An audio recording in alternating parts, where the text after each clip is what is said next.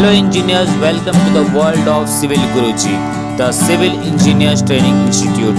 मैं इंजीनियर शुभम नागपुरे आपका स्वागत करता हूँ करना है खास तो चलो हमारे साथ करना है खास तो चलो हमारे साथ सिविल की बात गुरु जी के साथ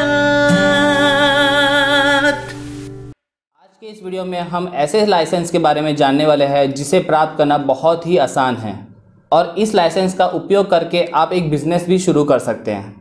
तो जल्दी से हमारे चैनल को सब्सक्राइब कीजिए और बिना समय गवाए इस वीडियो को शुरू करते हैं। दोस्तों, अगर आपके पास सिविल इंजीनियर की डिग्री या फिर डिप्लोमा है तो आप नगर पंचायत या नगर पालिका इन जैसे अथॉरिटी के लिए सिविल इंजीनियर लाइसेंस बनवा सकते हैं। देखिए, अगर किसी भी पर्सन को अपना खुद का घर बनाना है या दुकान का काम शुरू करना है या भी किस, या फिर किसी भी तरह का कंस्ट्रक्शन शुरू करना है तो उन्हें नगर पालिका या नगर पंचायत से परमिशन की ज़रूरत होती है, जिसे हम उसे कंस्ट्रक्शन परमिशन कहते हैं।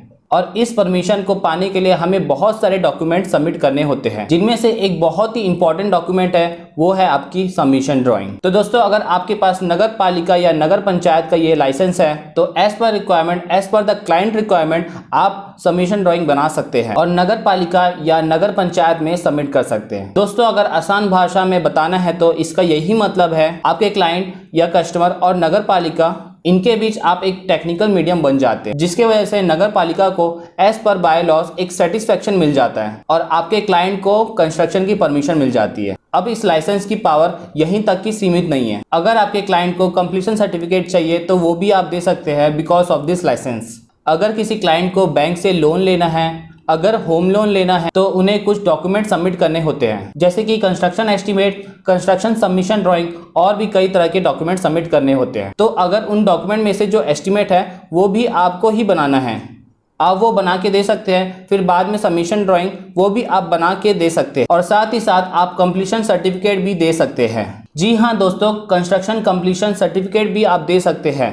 तो ये है इस लाइसेंस की पावर अब दोस्तों बात करते हैं इस लाइसेंस को पाने के लिए। आपकी जो एजुकेशन क्वालिफिकेशन है, वो किस तरह की होनी चाहिए? देखिए, एक चीज़ है, आपकी डिग्री कंप्लीट होनी चाहिए या फिर आपका डिप्लोमा कंप्लीट होनी चाहिए। और रही बात एक्सपीरियंस की तो देखिए दोस्तों, अगर आपके पास सिविल इंजीनियरिंग की डिग्री है तो आपके पास एक्सपीरियंस होना ज़रूरी नहीं है। आप एज अ फ्रेशर भी इस लाइसेंस को पा सकते हैं। लेकिन हाँ अगर आपके पास डिप्लोमा है सिविल इंजीनियरिंग का तो आपको कम से कम तीन से पाँच साल का एक्सपीरियंस लगेगा बिल्डिंग एंड प्लानिंग का। तो चलिए अब देखते हैं इस लाइसेंस को सबमिट के लिए कौन कौन से डॉक्यूमेंट सबमिट करने हैं और कहाँ सबमिट करने हैं। अगर आप डिग्री होल्डर है या फिर सिविल इंजीनियरिंग की डिग्री है तो आपको प्रोविजनल डिग्री या फिर फाइनल डिग्री कोई भी चलेगा, दोनों में से। एक की जेरोक्स कॉपी लगेगी और एक आईडी प्रूफ आईडी प्रूफ में आप आधार कार्ड या फिर ड्राइविंग लाइसेंस भी यूज़ कर सकते हैं। अब बात करते हैं डिप्लोमा होल्डर्स की।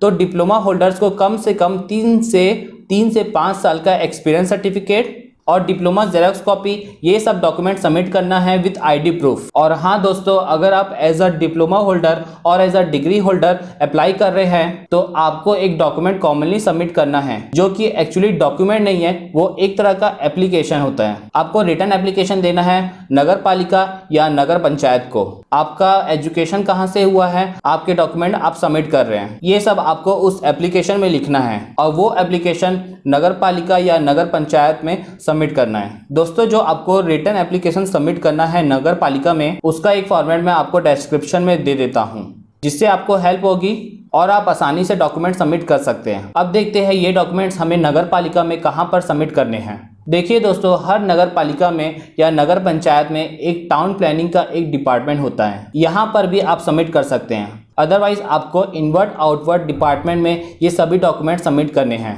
इनवर्ट आउटवर्ड डिपार्टमेंट ये एक ऐसा डिपार्टमेंट है जहाँ पर नगर पालिका में सभी तरह के डॉक्यूमेंट्स कंप्लेंट एक्सेप्ट की जाती है। दोस्तों, इस लाइसेंस के लिए आपको ऑफिशियल फ़र्स्ट टाइम फ़ीस देनी होती है फिर बाद में रिन्यूअल के लिए हर साल ये फ़ीस पेड करनी होती है। एग्जैक्ट अमाउंट ऑफ़ फ़ीस तो आपको नहीं बता सकता, क्योंकि विद टाइम ये सब चीज़ चेंज होती रहती है। जैसे कि मैं यहाँ की छत्तीसगढ़ की बात करूँ तो यहाँ पे आपको ऑफिशियल फ़ीस एक लगता है अप्रोक्सीमेटली पंद्रह सौ रुपये का।